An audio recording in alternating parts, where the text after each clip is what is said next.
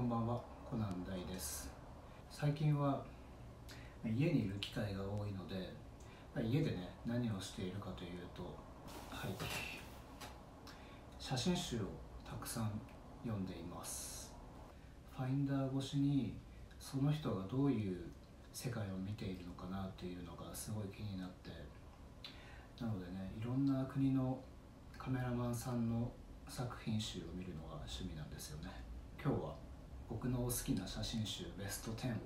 紹介したいと思います。ベスト10といったもののこの10冊以外にもね好きな写真集がたくさんあるんですが今回は最近よく見るものということで10冊絞ってみました。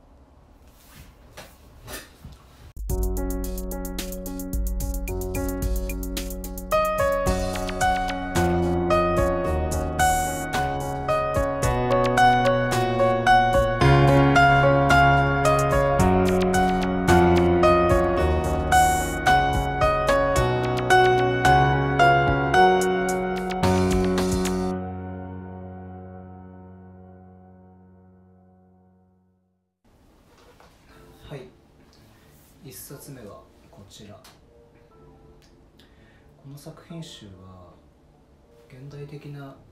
ポートレートとルネッサンス時代のような衣装のコントラストが素敵で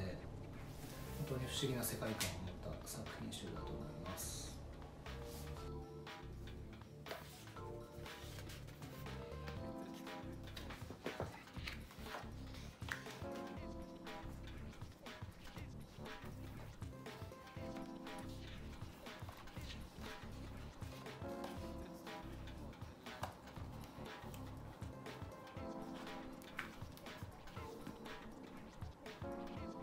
次はこちら。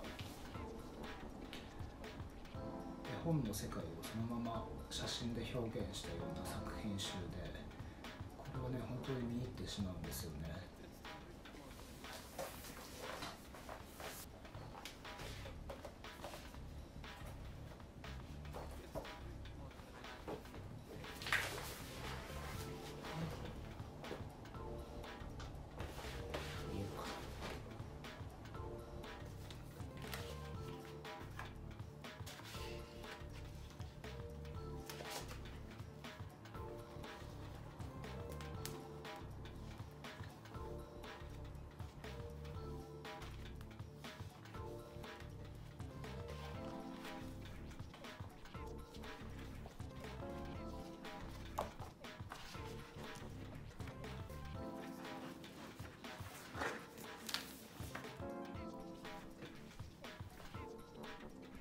3冊目はこちら。僕はこの方の写真集がとても好きで3冊持ってるんですよね。これとチョコレートという写真集と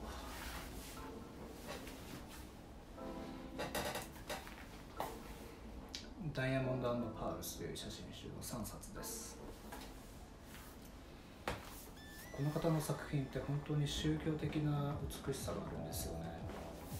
まあ、この方の作品集のおかげで僕は写真に興味を持ったかなというそういう人です。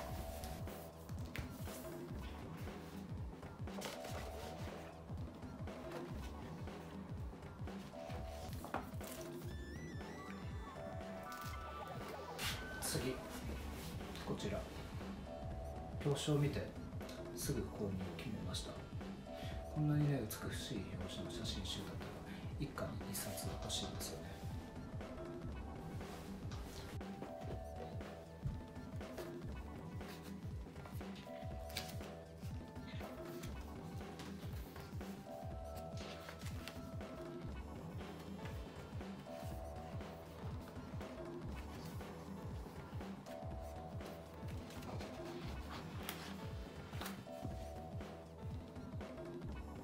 続きまして。見開きで2ページを使って1枚の写真を表現しているんですよね。全く異なる2枚の写真を左と右ページにつなげて1枚の作品として表現しているという作品集です。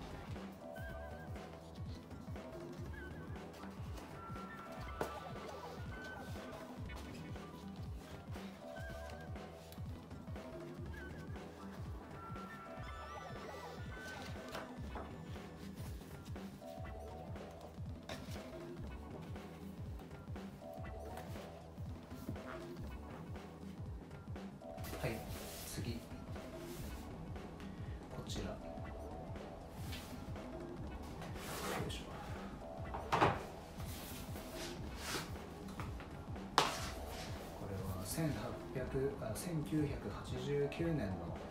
ソビエトの写真とアメリカの写真。このイーストこれがソビエト。こっちがアメリカの写真。で2冊でワンセットになっています。ソビエト連邦の冷たい空気感とアメリカの明るい空気感の2つの局面が見れるような作品集になっています。この方の色使いが好きで特にこっちのイーストの方の写真集を僕はよく見るんですけど冷たい中にも温かさがあるようなそんな不思議な色使いをされるフォトグラファーです。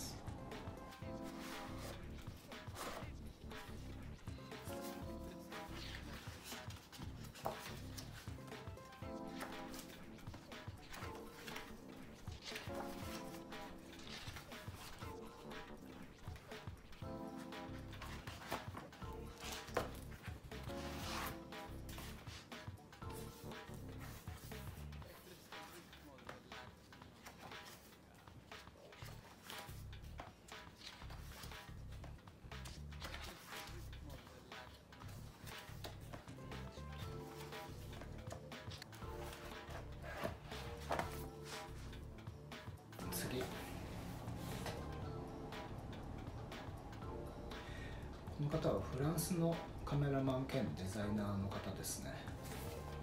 どのページを開いても映画の一部を切り取ったような作品が並んでいる写真集です。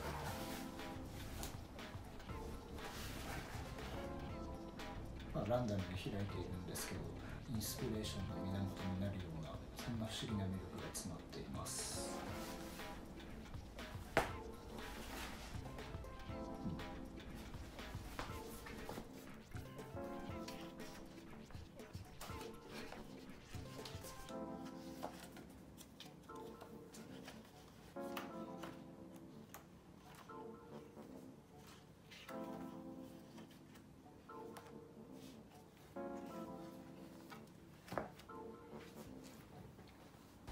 続きましてこちら。こ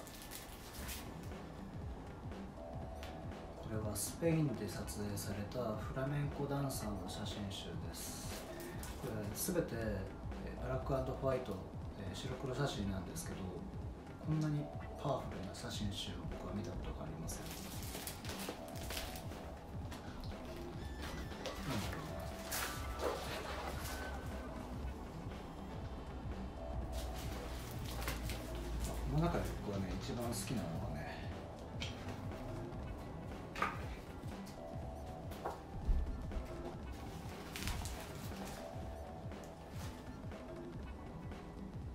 スペインに行くことはあるかもしれませんが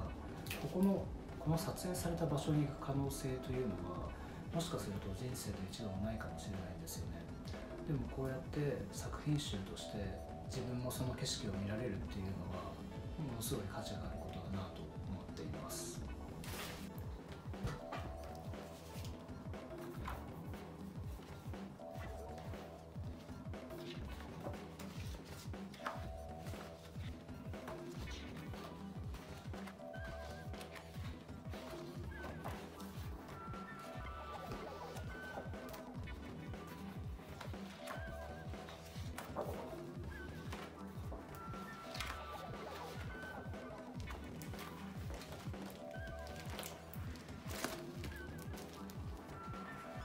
次。こ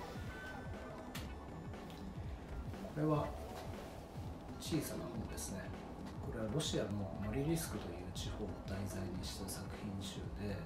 ここは工場地帯であの空気が汚染されているらしいんですよね。でこのノリリスクの周り1 0キロには植物が育たないというそういう過酷な環境で気温も年の平均気温がマイナス35度とか人生で生きていてこの土地に行く人って本当に限られていると思うんですよね。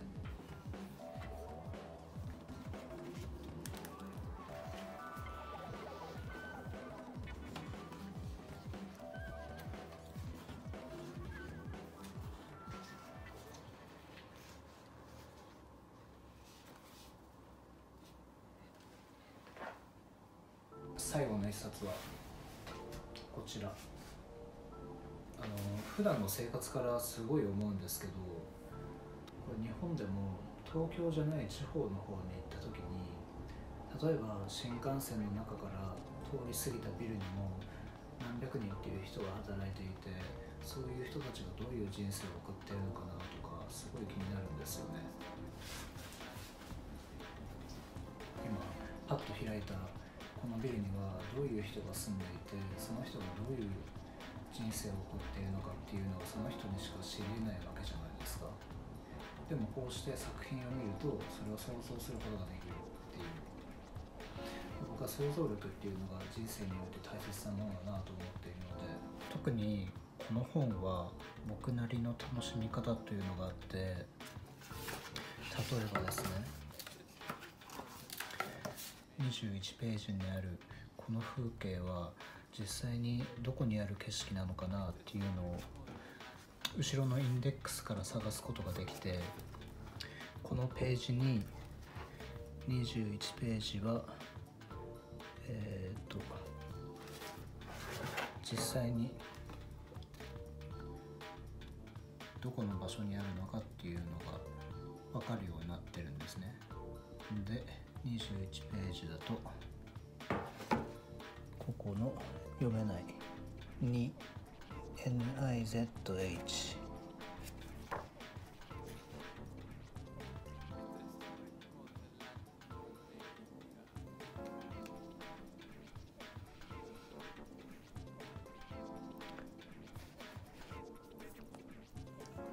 ここだ。えっ、とモスクワがここで21ページに写っていた。このビルはモスクワの右下のこの町だってことが分かりました、まあ、そんな感じでねこの景色はどこなんだろうって思った時にこの後ろのページの地図で実際の場所を探すっていうのも楽しみの一つです。